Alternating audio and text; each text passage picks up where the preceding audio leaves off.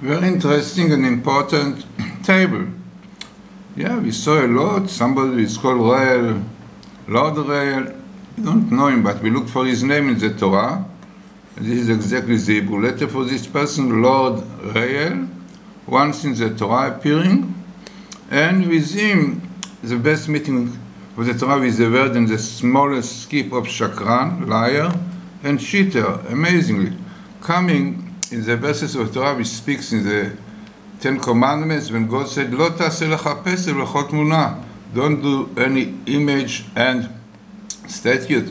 And amazingly, the evil source of the Amalekite, really the heavenly angel, which is called the Samael, has Samael coming here, cutting this, clearly showing that all these forces come from the evil powers, very dangerous.